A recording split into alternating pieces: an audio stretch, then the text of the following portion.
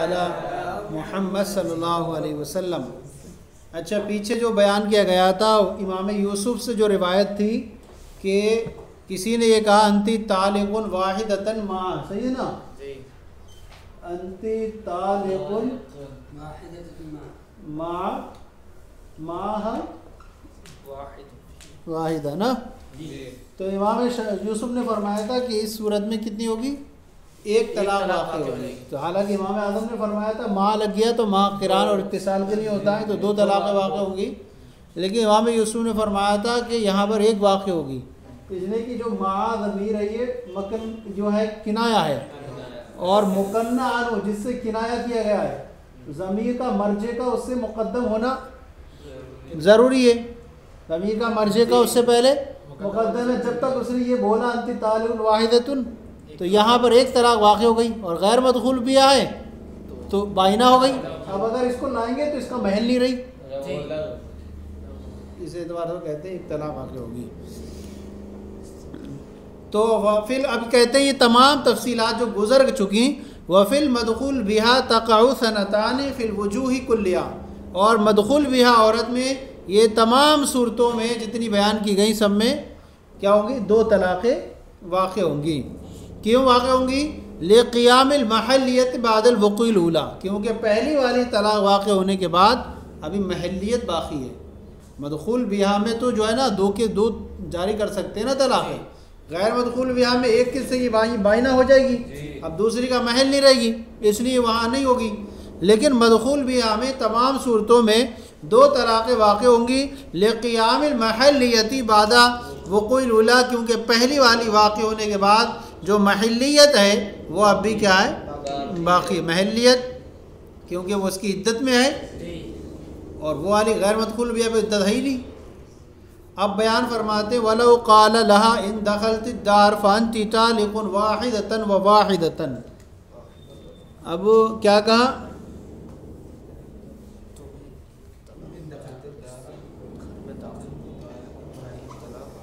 इन दखल दार।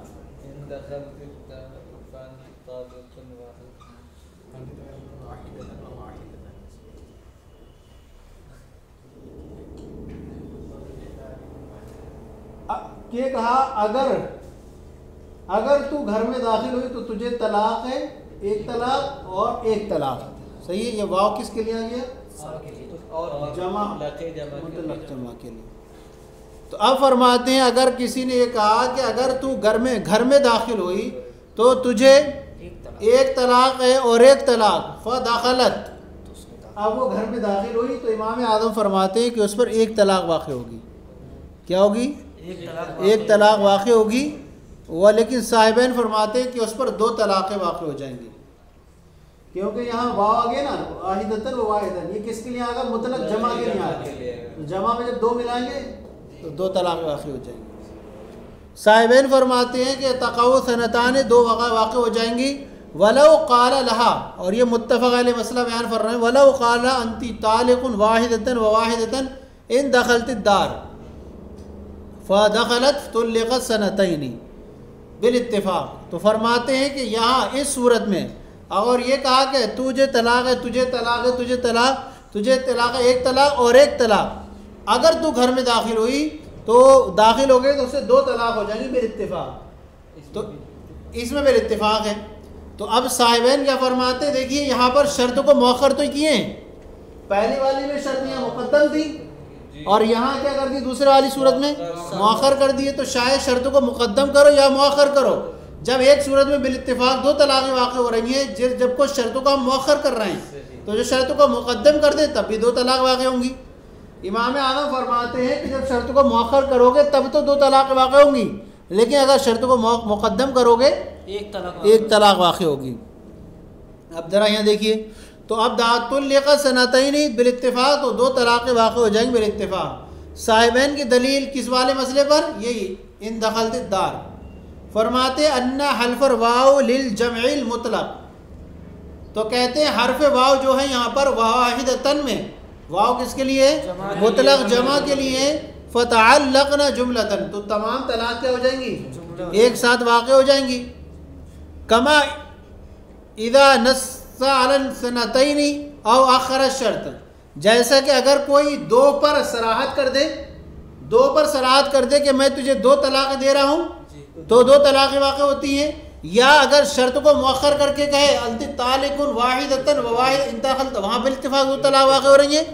तो यहाँ पर भी क्या होगी? दो तलाक वाक़ हो जाएँगी।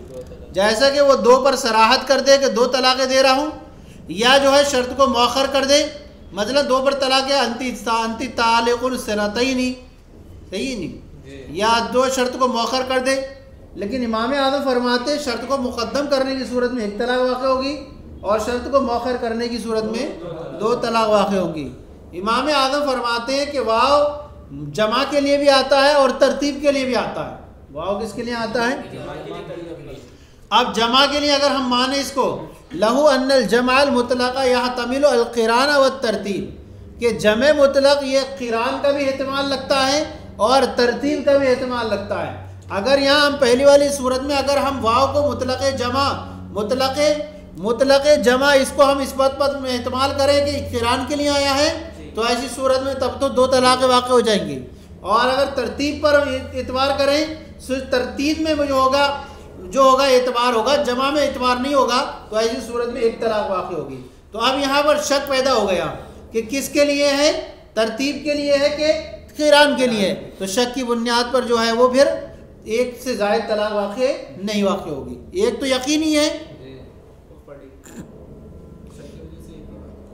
हाँ तो एक तो यकीनी वो वाक़ होगी, लेकिन ज़्यादा है अनल जमाल मुतलक़ यह तमिल किरान व तरतीब, के जम मुतलक जो है किरान और तरतीब का अहतमाल लगता है। फ़ाला एतबार अव्वली से नतान। तो अगर अव्वल का एतबार करें तो दो तलाक़ें वाक़ हो जाएँगी।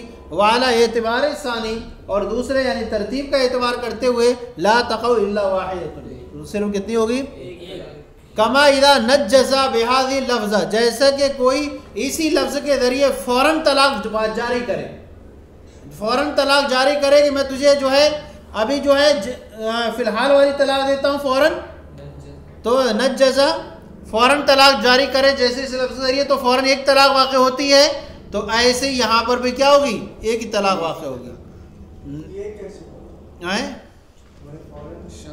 मतलब ये जैसे इन दखलती दार हटा देना। अरे इन दखलती दार हटा अंति तालिकुन तो फ़ौरन जारी होगी लेकिन दखलती दार की कैद लगा दी, जब तक दाखिल नहीं होगी, शर्त हटा देगा तो फ़ौरन हो जाएगी। अब यहाँ पर फरमाते हैं, जैसे कि इस लफ्ज़ के ज़रिए कोई फौरी फौरी तौर पर तलाक जारी करे फ़ला यकाउ जायद और वाहिद शक की लिहाजा शक की बुनियाद पर एक से जायद तलाक वाक़ नहीं।, नहीं होगी। अब जो वो सूरत थी जो साहिब ने फरमाई थी कि भाई शर्त को जब मौखर कर रहे हैं तब आप भी कहते हैं कि दो तलाक बिल इतफाक़ वाक़ हो जाएँगी। शर्त को अगर मुकदम कर दें तो शर्त के मुकदम या मौखर करने से क्या फ़र्क पड़ता है? लेकिन इमाम आदम फरमाते हैं शर्त को जब मौखर करेंगे तब तो दो तलाक वाक़ होंगी। लेकिन शर्त को अगर मुकदम करेंगे तो एक तलाक वाक़ होगी। अब फरमाते बखिलाफ़ माहिदा अखर शर्त। बरखिलाफ़ उस सूरत के जब उसने शर्त को मौखर कर दिया शर्त को मौखर करके यहाँ लास्ट में ले जाए और अंति वाहिदतन वाहिदतन इन दखलदार तो कह रहे हैं कि यहाँ शर्त को मौखर कर दें तो अब ऐसी सूरत में ये जो है सदर कलाम को मुगैर करने वाला होगा तब्दील कर देगा। सदर कलाम जो होगा ना इसको क्या कर देगा? तब्दील कर देगा। अब क्यों? क्योंकि अब फ़ैत वक़फ़ुल अव्वल वाले अब अव्वल जो है वो किस पर मौकूफ़ रहेगा?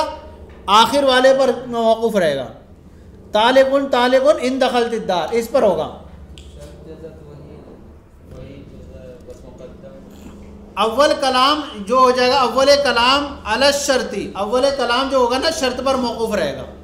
तो गोया कि जब तक शर्त नहीं पाई जाएगी, इसकी मशरूत नहीं पाया जाएगा। जजा नहीं पाई जाएगी। तो जजा क्या है? तलाक वाक़ होना। तलाक कब वाक़ होगी? गोया कि घर में जब दाखिल हो। तो इस एतबार से वहाँ पर वहाँ दाखिल, दो तलाक़ों को किसके और मुल्ल किया गया? तो सदर कलाम ये मुल्ल हो जाएगा दाखिल दौर पर। और सदर कलाम में दो हैं, वाह वादा। इस एतबार से दो तलाक़ें वहाँ वाक़ लिहाना मुगैर सदर कलाम, क्योंकि ये जो है, सदर कलाम को तब्दील तब्दील कर देता है। फ़यातवक़फ़ुल अव्वल आलई लिहाजा अव्वल कलाम जो होगा, वो उस पर क्या होगा? मौकूफ़ होगा फ़यक़ा जुमलतन। तो जब शर्त मौखर होगी तो एक साथ दो जाएँगी सब वाक़ हो जाएँगी। कहते फिर पहली वाली सूरत में जब शर्त को मुकदम करें वहाँ क्यों नहीं? कहते वला मुगैर रफ़ीमा इदा कदम शर्त। और वहाँ कोई तब्दील करने वाला नहीं कोई चीज़ ऐसी जबकि शर्त को मुकदम करें फ़लम ये तवक़ लिहाजा जो है सदर कलाम उस पर मौकूफ़ भी नहीं होगा। कहते हैं ये तो वाव के ज़रिए था। अगर कोई फ़ा के ज़रिए कह दे फ़ानती तालगुन वाहिदा कहते हैं। इन दखलतदार वाहिदतुन फ़वाहिदा। तो अब ऐसी सूरत में क्या होगा? तो इमाम आज़म वही फरमाते हैं कि यहाँ पर भी वही सूरत होगी जो पिछले वाले मसले में हुई। और वही सही है, लेकिन इमाम करखी ने क्या बयान फरमाया यहाँ पर? इमाम वाला आतफ़ा बेहरफिल वाव, अगर वाला वो तीफ़ा बेहरफिल फ़ा, अगर हरफ फ़ा के ज़रिए अतफ किया जाए, यानी यूँ कहा जाए इन दखलतदार फ़ानती तालिगुन वाहिदतन फ़वाहिदतन। तो अब कहते हैं, अगर हरफ फ़ा के ज़रिए अतफ किया जाए फ़व आला हादल खिलाफ इमा ज़कर करखी। तो यही उसी इख्तिलाफ पर है जिसे इमाम करखी ने ज़िक्र किया। इमाम करखी ने क्या ज़िक्र किया है? इमाम करवी ने क्या है कि चाहे वाह के ज़रिए अतफ करे या फ़ाव के ज़रिए अतफ करे, दोनों सूरतों में क्या है? बराबर है। वो कहते हैं, हरफ अतफ जो है, वो दोनों को एक कलाम बना देता है, लिहाजा दोनों एक तलाक वाक़ हो जाएँगी, जैसे कि वाह वाली सूरत में, चाहे शर्त को मुकदम करें या मौखर को करें। इमाम साहिबैन के नज़दीक और इमाम यूस इमाम आदम के नज़दीक, इमाम आदम के नज़दीक क्या होगा? एक तलाक वाक़ होगी। हाँ शर्त को मौखर करें तो दो तलाक वाक़ हो जाएँगी और शर्त को मुकदम करें तो एक तलाक फरमाते हैं वज़कर फ़की अबुल्लैस फ़की अबुल्लैस ने ज़िक्र किया, नौ यका वाहिदम बिल इतफ़ाक़ क्या होगी? एक सला तलाक एक तलाक वाक़ होगी। लैन अल्फ़ा ताक़ीब। इसलिए कि फ़ा जो है वो किसके लिए है? ताक़ीब के लिए है। बल्कि जो है, थोड़ा ताख़ीर से आने के लिए, ताक़ीब बिला मोहलत। तो अब ऐसी सूरत में ताक़ीब के लिए है, यानी अतफ ताक़ीब के लिए, मुतलक़ अतफ के लिए नहीं आता ये। तो अब ये ताली, तालीक जो होगा, ताक़ीब पर तकादा करेगा। फ़तनज़ल कमा। लिहाजा जैसे ही इस पर पहली तलाक वाक़ होगी, वो क्या हो जाएगी? बायना हो जाएगी। और दूसरी का फिर महल वाक़ नहीं रहेगी।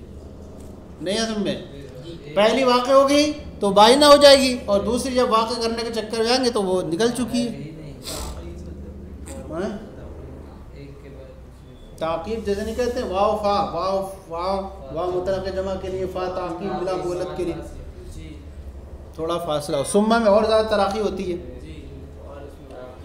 तो अब कहते हैं, एक तलाक वाक़ हुई बिल इतफ़ाक़ लफ़ाल ताक़ीब और असह यही असह कौल है कि यहाँ पर एक तलाक वाक़ होगी लफ़ाल अलतफ़ी ताक़ीब। अब फरमाते हैं, ये तो हो गई तलाक की, एक सूरत का बयान हो गया जो हमने अब तक पढ़ा।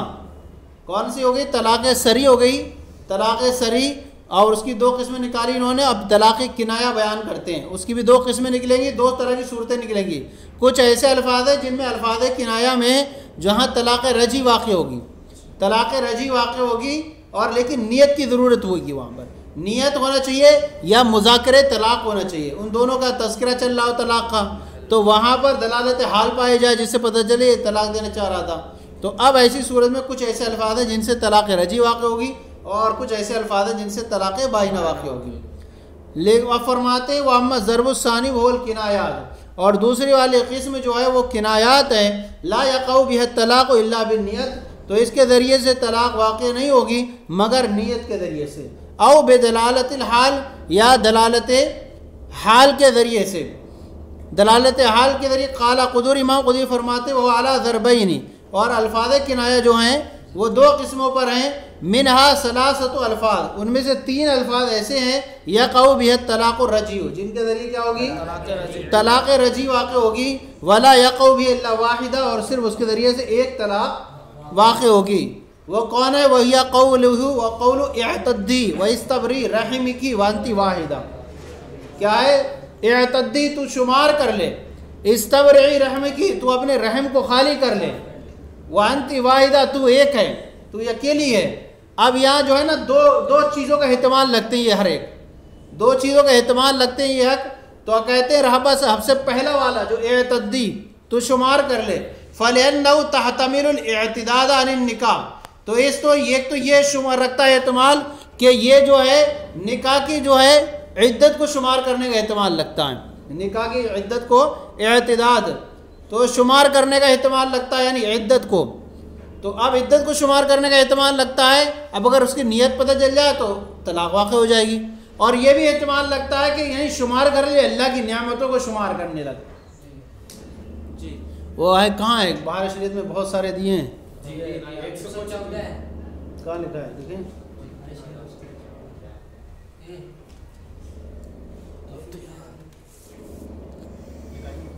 तहतमिलतदाद निकाह क्योंकि वो निकाह की जो है इद्दत शुमार करने का भी एहतमाल लगता है। वह तहतमिलतदाद नियामिल्ला ताला। और अल्लाह की नियामतों को शुमार करने का भी एहतमाल लगता है। फ़ैन नवल अव्वला तयना बेनीयती। अगर उसने पहले की नियत कर ली कि निकाह की इद्दत शुमार कर तो ऐसी सूरत में उसकी नियत से क्या हो गया वो? वो मुतन हो जाएगा। ठीक है? फ़युक्तदा तलाक़न सबकन। तो अब कहते हैं, ये तकादा करेगा तलाब तलाक सबका का। अरे भाई तू क्या कर? निकाह की इद्दत को शुमार कर। तो अब यहाँ मुख्तदान ये माना जाएगा। पहले इसने तलाक दी और फिर जो है उसके बाद क्या हुई? अब इसे इद्दत शुमार करने को कहा जा रहा है। हाँ।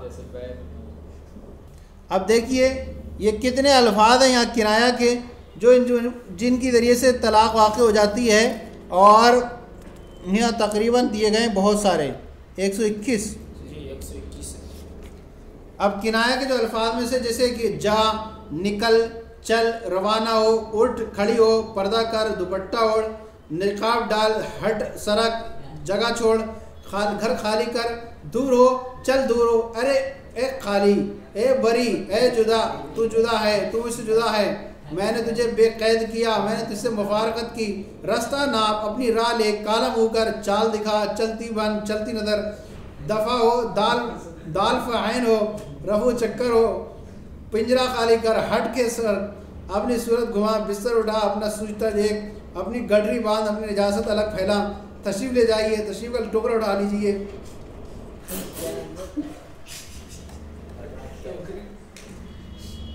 बहुत सारे अल्फाज हैं, जिनके ज़रिए अल्फाज किनाया हैं। तो किनाया के में तलाक वाक़ होने में ये शर्त है कि नीयत तलाक हो या हालत बताती हो कि तलाक मुराद है यानी बेशतर तलाक का ज़िक्र था या गुस्से में कहा किनाए के अल्फाज तीन तरह के होते हैं बाद में सवाल रद्द करने का इस्तेमाल बाद में गाली का इतमाल बाद में न ये न वो। जवाब के लिए मुतन है तो अब यहाँ नीयत का इतमाल है वरना अगर नीयत ना हो तो फ़ौरन तो ऐसे बहुत सारे हम लोग इंसान बोलता रहता है ये नहीं? तो अब ये तलाक साबित का तकादा करेगा। यानी पहले क्या? एक मुक्तदा करेगा कि पहले तलाक दी जा चाहिए। अब उससे इद्दत शुमार करने का व तलाक युक़ब रह जाता और तलाक के बाद क्या होती है? इस तलाक के बाद रजत होती है। इस तलाक के बाद रजत? हाँ। तलाक के बाइना में क्या होता है? है हाँ। निकाह से निकल जाती है या फिर निकाह के बाद लौटा सकती है। लेकिन ये इसमें, इसके बाद रजत हो सकती है। ये पहला हुआ कौन सा? एतद्दी इसमें दो माना में इस्तेमाल था ना। एक तो निकाह के दिन शुमार कर, निकाह की इद्दत शुमार कर, दूसरा अल्लाह की नियामतों को शुमार कर। और दूसरा ये, अम्मा थानिया फलियन्ना तुस्ता अमलु बिमान एतदाद और दूसरा वाला जो है, कौन सा? इस्तबरी रहम की। तू अपने रहम को खाली कर ले। तो अब यहाँ इस्तेमाल है, ये इतदाल शुमार के माना में भी इस्तेमाल किया जाता है। यानी क्या है? है के इद्दत के जो है, वो रहम के। हैज़ के दिन शुमार कर ले। लियान तसरी बिमा हुआ मकसूद बिनो इसलिए कि ये अब ऐसी सूरत, अगर ये मुराद ले रहा है तो ऐसी सूरत में सराहत हो जाएगी, जो उसका क्या है? एतदाद करने से जो मकसूद है। तो अब क्या है कि हैज़ के दिन शुमार कर तो ऐसी सूरत में यही मकसूद हो जाएगा, यहाँ पर के बग़ैर तलाक के। तो अब ऐसी सूरत फ़काना बेमंजिलती। तो अब इसका ये कहना, ये उसके क्या हो जाएगा? दर्जे में हो जाएगा शुमार करने के। वतः तमिर इस्तिबरा। और ये भी इस्तेमाल लगता है कि इस्तिबरा का भी इस्तेमाल लगता है कि तू अपना जो है इस्तिबरा शुमार कर यानी पता चल जाए कि तेरा रहम खाली है लियुतल्लिका ताकि वो उसे तलाक दे सके। तो अब दो माना में एहतमाल है। लिहाजा अगर पहले माना के मकसूद उसने ली है कि तू जो है अपने क्या कर हैज़ के दिन शुमार कर तो ऐसी सूरत में अगर नियत कर ली तो फिर उसके तलाक वाक़ हो जाएगी। और अगर इसने ये कहा कि इस्तिबरा का भी एहतमाल लगता है कि देख ले कि शुमार कर ले ताकि उसे तलाक दे सके तो अब तलाक दे सके इसलिए इस्तिबरा करा रहा उसे। तो यहाँ पर अभी तलाक वाक़। और तीसरा वाला कौन सा था? अंति वाहिदा तो एक है अकेली है। तो यहाँ पर दो, दो माना का इस्तेमाल है। फलन्ना तहतमिर तकून नातल मजदर महजूफ। तो यहाँ पर यह भी एहतमाल है कि एक मजदर महजूफ की सिफत हो। ततलीक़तन हाँ ततलीक़तन वाहिदा। तो आप कहते हैं यहाँ ये भी एहतमाल है कि ये मजदर महजूफ की सिफत हो इसका माना ये हो ततलीक़तन वाहिदा। कि तुझे एक तलाक है। फ़ैन नवाहू तो जब इसने इसकी नियत कर ली जुईला कानू कानू तो गोया के अब ऐसी नियत कर ली तो इसको इसी दर्जे में ठहरा लिया जाएगा। गोया कि इसने यही कहा है। और उसे एक तलाक वाक़ हो जाएगी। वह तलाक युवाक़ रजता तलाक के बाद रजात होती है। वह तह तमील गैर हो और इसके गैर का भी एहतमाल लगता है। क्या इस्तेमाल? वो अंतकुन वाहिदतन इंदा कि वो उसके नज़दीक बिल्कुल तने तनहा है। और इंदा कौमी अपनी कौम के नज़दीक बिल्कुल ऐसी है, यकताए रोज़गार है, ऐसी तेरी जैसी कोई हसीना नहीं है। तो ये भी एहतमाल लगता है कि तारीफ़ करना चाहता है। अब अगर ये होगा तो फिर ये तलाक नहीं कहते वलम्मा तमलत हाजिर अल्फाज तलाक वगैरह हो यहताजो फ़ी इलनियत जब ये अल्फाज तलाक गैर तलाक दोनों का एहतमाल लगते हैं तो इसमें क्या होगी? नियत की हाजत होगी वला तक़िल्ला वाहिदा। सिर्फ़ क्या होगी? फीहा मुख्तज़न। क्योंकि इसका कौल जो अंत तालिकुन जो होगा इसमें मुख्तज़न माना जाएगा। इन दोनों मिसालों ऊपर वाली में तद्दी और इस्तबर रहम की। अपने रहम को खाली कर तो ये माना जाएगा पहले तलाक दे चुका है मुख्तजान माना जाएगा। और कहते औ मुजमरुन या पोशीदा माना जाएगा किसमें? अंति वाहिदतुन में। वाहिदतुन में ततरीकतन पोशीदा माना जाएगा। तो अब पोशीदा होगा लव काना मुजहरन, अगर ये ज़ाहिर होता, क्या होता? अगर ये ज़ाहिर होता, कौन सी सूरत? अंति तालिबुन वाहिदा कहता तो वहाँ एक तलाक वाक़ होगी तो जब पोशीदा है तो उसमें भी एक तलाक वाक़ होगी। वलव काना मुसरन अगर यही चीज़ ज़ाहिर होती, ला यकौ भी इल्ला वाहिदा तो उसके ज़रिए एक ही तलाक वाक़ होती। फ़ैदा काना मुजमरन तो जब वो पोशीदा रखा गया अवला बिया तो उससे और करीब दर्जा औला एक तलाक वाक़ होगी। वफ़ी कौली वाहिदा अब यहाँ पर एक एतराज़ हो सकता है कि वफ़ी कौली वाहिदा इन सारल मजदर मजकूरन। कह रहे हैं कि भाई यहाँ ततली कदन मजदर आया ना तो आप एक तलाक वाक़ कर रहे हैं। तो क्या ततली कदन मजदर है मजदर से फ़र्द हकीकी एक है फ़र्द हुक्म तीन है। तो तीन तलाक की नियत कर रहे हैं तो क्यों नहीं हो सकता? अगर नियत कर ले तो। कह रहे हैं यहाँ तीन की नियत करना सही नहीं। नहीं होगा। वफ़ी कौली वाहिदा इंसार मजदर मजकूरन। और उसके कौल वाहिदा में अगर मजदर को मजकूर मान लिया जाए कहते लाकिन तनसीस अल वाहिदा। लेकिन जब उसने वाहिदा पर सरारत कर सराहत कर दी युनाफी नियत सलास। तो सलास की नियत के क्या होगा? क्योंकि जब उसने ज़बान से अदा कर दिया तो नियत के मुकाबले में सारी अल्फाज क्या हो जाएँगे? अला हो जाएँगे। तो अब यहाँ ये नहीं कहेंगे कि यहाँ पर नियत का एतबार कर ले। तो कहते हैं, अगर ये मजदर ज़िक्र हो जाए, लेकिन जब नियत कहते हैं कि जब उसने एक पर सराहत कर दी, यूनाफी नियत सलास तो तीन की नियत करने के अब ये कह रहे हैं, वाहिदा पर इराब क्या पढ़े? अंति वाहिदतुन वाहिदतन या वाहिदतिन। तो कह रहे हैं कि यहाँ पर अजमी लोग ये इराब वराब नहीं जानते।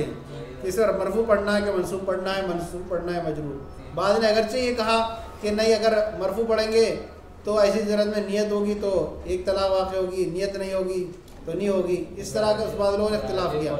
लेकिन सराज कौल ये कि यहाँ पर एराब का कोई मसला नहीं है, बस नियत देखी जाएगी। वला मोतवर बेराबिल वाहिदती इंदा आम मतिल मशाइख। आम मशाइख के नज़दीक जो है, वाहिदा के एराब का कोई एतबार नहीं है, वह वह सही और यही सही है। क्या है? यही सही है लिअन अवाम ला बैन वजूह एराब क्योंकि अवाम जो है वो वजूह एराब के दरमियान तमीज़ नहीं नहीं कर पाती है। अब बकिया तो किनाया जो है यहाँ से आ रहे हैं कुछ अल्फाज। तू पर्दा कर ले चली जा तनहा है बरी है मैंने तेरे घर वालों को तुझे हिबा कर दिया। जुदा हो जा तेरा मामला तेरे हाथ में है तू इख्तियार कर ले तू आज़ाद है पर्दा ओढ़ ले। ये सब यहाँ पर अल्फाज आ रहे हैं। हमारी शरीयत बना दी है।